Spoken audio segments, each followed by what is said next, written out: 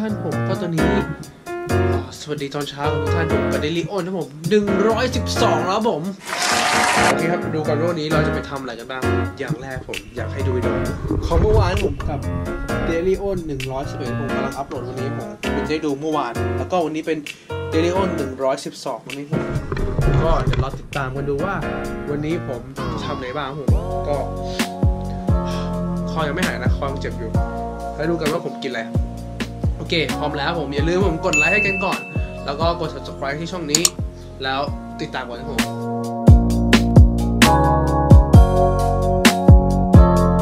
โอเคครับผมก็จะมาทำมื้อออกไปกินข้างนอกผมก็ผมอาจจะไม่ได้กินนะแต่ผมทำให้คนอื่นกินนั่นเองผมแล้วทำไมไม่กินเองล่ะโอเคครับไปดูกันว่ามื้อที่ผมจะทำออกไปกินข้างนอกคืออะไรนะผมก็คือน้องกุ้งให้ผมกุ้งมีหางนั่นเองผมนี่แล้วก็ เป็นพวกถั่วลมิดพวกแครอทพวกถั่วลันเตาพวกข้าวโพดแล้วก็มีข้าวเรเบอรี่ประมาณ 200 กรัมอันนี่ประมาณ 150 กรัมคุ้มประมาณเกือบ 300อันนี้ผมทำแล้วก็เดี๋ยวเราไปทำกับข้าวกันดีกว่า Let's go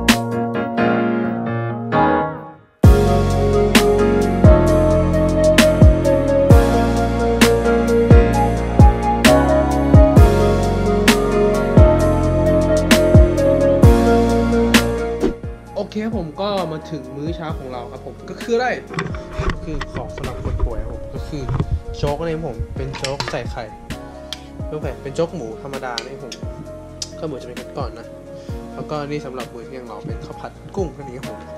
โอเคครับผมก็เดี๋ยวเรากินข้าวกัน แล้วก็เดี๋ยวไปดูกันว่าผมเตรียมของอะไรออกไปข้างนอกบ้างแล้วเจอกันกินข้าวก่อนครับผม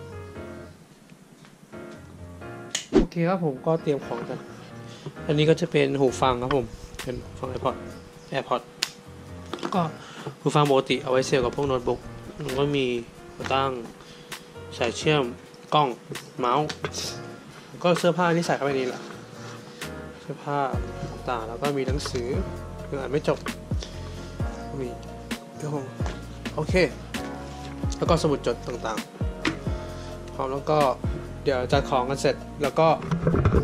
ออกไปข้างนอกกันครับ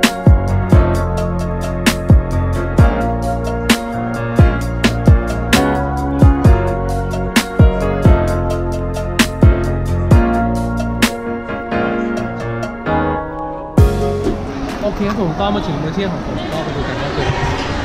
อันนี้ผมก็จะเป็นอ่าเขาเรียกว่าอะไรอะ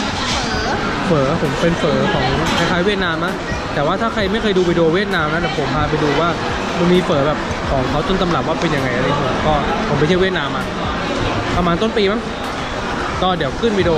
ท่องเที่ยวให้ถ้าใครอยากจะไปดูใครอยากจะไปเที่ยวผมก็บอกเลยว่าประสบการณ์ล้วนๆนั่นเองครับผมโอเคครับ เดี๋ยวเรากิน เส้นเฝอกันที่นี่ก่อน แล้วก็เดี๋ยวเจอกันตอนช่วงแบบหลังจากกินข้าวเสร็จแล้วดีกว่า Peace โอเคครับผมตอนนี้เราก็มาสามผมก็มากินคลาสสิกช็อกโกแลตซอยเวนตี้นั่นเองผมเป็นร้อนนะแล้วก็นั่งอ่านหนังสือครับ โอเคครับ แก้วนี้แคลอรี่เยอะมากครับผมบอกเลย ก็แดกซื้อกัน แล้วก็เจอกัน ตอนมื้อเย็นค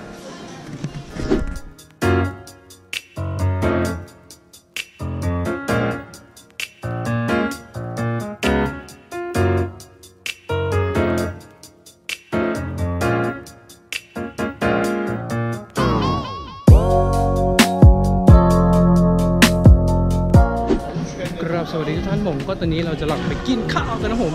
มื้อเย็นวันนี้จะกินอะไรครับ จะไปกินราเมงครับผมก็มื้อเช้ากินโจ๊กไปมื้อเที่ยงกินอ่าเฝอไปครับผมก็เดี๋ยวพาไปกินมื้อเย็นกันครับโอเคครับผมก็มาถึงมื้อสุดท้ายของเราดูกันว่าเป็นอะไรนี่ผมเป็นราเมงนั่นเองครับผมนี่น่ากินมากครับผมแล้วก็จะมีผัดถั่วงอก หอยคนของประตูก็จะเป็นอ่าราเมงทั่วไป นี่ไม่เคยกินนะผม แต่บอกว่าน่าจะอร่อยมาก ชิมดูก่อนอร่อยครับ เยี่ยมมากงานนี้ ก็เดี๋ยวกินข้าวกัน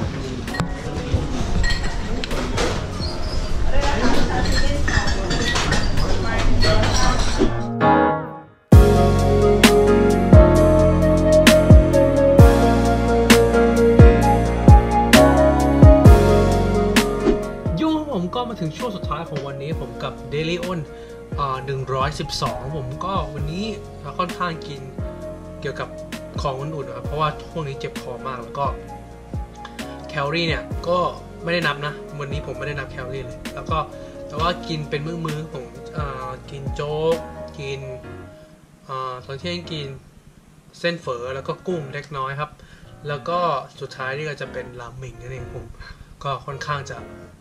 ไม่แน่นมากพอพอดีประมาณหนึ่งแต่ว่าแคลอรี่อาจจะเกือบเต็มแม็กประมาณหนึ่งเลยครับ ก็วันนี้ก็ค่อนข้างจะไม่แย่มากก็ช่วงไม่สบายก็เต็มที่กันนิดนึง โอเคครับ วันนี้ผมก็น่าจะจบเพียงเท่านี้ครับผมกับ Daily On ผม วันนี้ผมไม่ได้มาตอบคำถามให้กับใครนะ แต่ว่าอยากจะมาาพูดเรื่องหนึ่งแล้วกัน เรื่องเกี่ยวกับว่าถ้าเรา ยิ่งสร้างกล้ามเราจะมารถกินแคลอรี่ได้เยอะขึ้น จริงไหมถ้าตอบตามความเป็นจริงก็คือ ยิ่งเรามีมวลกล้ามเนื้อมากขึ้นนะผมร่างกายเราก็ต้องการพลังงานมากขึ้น เพื่อนำไปหล่อเลี้ยงนั่นเองครับผม แต่สิ่งที่ควรจะระวังก็คือยิ่งร่างกายต้องการแคลอรี่มากขึ้น ร่างกายก็สามารถที่จะสะสมไขมันมากขึ้นด้วยนี่ผมก็เป็นเรื่องธรรมดาผมที่ร่างกายจะต้องการคงสภาพของไขมันเอาไว้ เพื่อทำให้ร่างกายเราา ค่อยแหละสมดุล เช่น อุณหภูมิร่างกายาระบบเผาผลาญฮอร์โมนต่างๆ ที่ทำให้ร่างกายสามารถทำงานได้ดี ผมไขมันเป็นสิ่งสำคัญมากครับผม ก็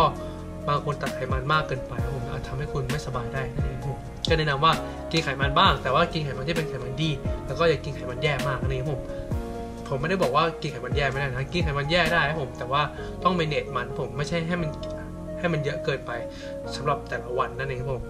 โอเคครับยิ่งกล้ามเนื้อเยอะก็ร่างกายก็สามารถที่จะเผาผลาญแคลอรี่ได้เยอะ แต่ว่าถ้าเราลืมดูว่า ระบบเผาผลาญคุณเท่าไหร่ในผม แล้วคุณกินเกิน มันก็จะแบบมันจะกลายเป็นเหมือนคนอ้วนในผม เช่นช่วงหนึ่งที่ผมกินแบบหนักๆมากผมก็คือระบบเผาผลาญผมเนี่ยประมาณ2,003แล้วกันช่วงนั้นนี่คือ เรามีมวลกล้ามเนื้อประมาณนึงแต่ว่าถ้าเรากินแคลอรี่เกินแบบเช่นผมกิน 5,000 แคลอรี่ในช่วง get fat อะผมขึ้นลิงก์ให้ดูเป็น playlist แล้วกัน ถ้าใครที่อยากเข้าไปดูผมกิน 5,000 แคลอรี่ 15 วันนะผมบอกเลยว่าแย่มากแบบทุกอย่าง dirty dirty แล้วผมก็ไม่แนะนำให้ทุกคนทำตามนะ เป็นสิ่งที่ทำให้ร่างกายคุณพังได้นั่นเองผมแล้วทำให้ระบบเผาผลาญคุณใช้เวลาในการ recover นานมากนานมากตอนนี้ก็ที่จริงเนี่ยผมทำผ่านมาประมาณโอ้ หกเจ็ดเดือนแล้ว ระบบเผาผลาญก็ค่อนข้างดีขึ้นนะผม เพราะว่าพยายามจะเปลี่ยนการกินพยายามสติ๊กการกินให้มากขึ้นนะผมแต่ว่าเราก็ยังคือร่างกายเรายังจะมีความอยากอยู่ข้างในนั่นเองผม อยากจะกินของหวานอยากจะกินนู่นอยากจะกินนี่ผม เราก็ต้องพยายามควบคุมมันด้วยการใช้สมองของเราในการควบคุมแล้วก็ฝึกจิตใจว่า อันนี้กินไม่ได้อันนู้นพยายามจะกินน้อยลงนั่นเองผมก็เป็นสิ่งสำคัญมากการฝึกจิตใจ ให้อดทนในการที่จะไม่กิน ซูการ์หรือว่ากินน้ำตาลเข้าไปนั่นเองผมเมื่ออ่ผมอยากจะบอกให้สมองเราเมื่อเราได้รับน้ำตาลเข้าไปครับผมมันจะเป็นเหมือนแบบสารกระตุ้นนั่นเองผมสารกระตุ้นชนิดหนึ่งคล้ายๆ พวกยาเสพติดเลยครับผม น้ำตาลเนี่ยเป็นเหมือนยาเสพติดชนิดหนึ่งถ้าผมเรียกนะ ถ้าคุณกินแล้วคุณจะเหมือนเป็นคนติดหวานอะคุณจะอยากจะกินของหวานเพิ่ม ไม่ว่าจะหวานในอาหารหรือหวานในขนมอันนี้ผมก็มันทำให้คุณควบคุมความอยากอยากมากนี่ผมก็พยายาม ลดน้ำตาลให้น้อยที่สุดครับผม แล้วพยายามเขาเรียแอดพวกความหวานให้น้อยที่สุดครับผมมันทำให้ร่างกายคุณเริ่มปรับสภาพว่า เอ้ยน้ำตาลประมาณนี้นะ เราจะไม่อยากน้ำตาลมาก แต่ถ้าคุณกินหวานๆเต็มๆเนี่ย วันนั้นอะ คุณจะกินขนมหวานเพิ่มขึ้นแน่นอน ผมรับประกันเลยครับผม ถ้าคุณกินแบบอ่าเช่นแบบ after you เนี่ย พอกินเสร็จปุ๊บคุณจะโอ้อยากจะกินอย่างอื่นด้วย ทิ้งระยะทิ้งระยะเวลาแบบสักประมาณ 2 ชั่วโมง ผมก็จะ เฮ้ยกินชาไข่มุกไหมกินกาแฟหวานๆไหมครับผมก็คือมันมันจะติดแต่ว่าพยายามเราจะพยายามลดความหวานลงนั่นเองครับผมโอเคครับ วันนี้ก็น่าจะจบเพียงเท่านี้ครับผมกล้ามเยอะขึ้นเบิร์นแคลอรี่มากขึ้น กินได้เยอะขึ้นจริงครับ แต่ว่าต้องระวังว่าอย่ากินเกินแคลอรี่ที่มันจำเป็น แล้วมันทำให้กล้ามคุณไม่ชัดอันนี้ผมผมเนี่ยกล้ามตัวนี้เริ่มไม่ชัดแล้วแล้วก็ถ้า งดความหวานได้ก็อย่าให้งดความหวานเอาไว้ผม ถ้าคุณกินของหวานไปมันจะเป็นสิ่งเสพติดแล้วมันทำให้ร่างกายเรากระตุ้นอยากจะกินของหวานมากขึ้นในผมก็ระวังไว้นะผมโอเคครับ วันนี้ก็น่าจะจบเพียงเท่านี้ผมกับ Daily On 112 ก็พยายามจะมาแชร์ความรู้ต่างๆครับผม แล้วก็ถ้าคุณคิดว่าวิดีโอนี้เป็นประโยชน์ก็อย่าลืมกดไลค์ให้กันด้วยผมมือว่างๆก็กดกันไปครับผม แล้วก็ใครที่เข้ามาใหม่ ใครที่มาเข้ามาอยู่ community ของ อ้น Channel ก็อย่าลืม กด subscribe ที่ช่องนี้ผม แล้วก็กระดิ่งข้างๆจะได้ไม่พลาดวิดีโอผม แล้วก็อย่าลืมไปติดตามที่ Instagram อ้น Channel Facebook อ้นเอ้ยอ้นสกลพัฒน์ Facebook อ้นสกลพัฒน์แล้วก็ Twitter อ้นสกลพัฒน์ครับผมก็ถ้าใครมีคำถามอะไร ใครมีปัญหาอะไรอยากจะคอมเมนต์ถามอะไรต่างๆครับผมก็พยายามจะคอมไม่ใช่พยายามก็คอมเมนต์ลงมาข้างล่างกันได้เลยครับผม ยินดีตอบอันนี้ผม แล้วเราเจอกันใหม่ครับผม กับอ้น 然后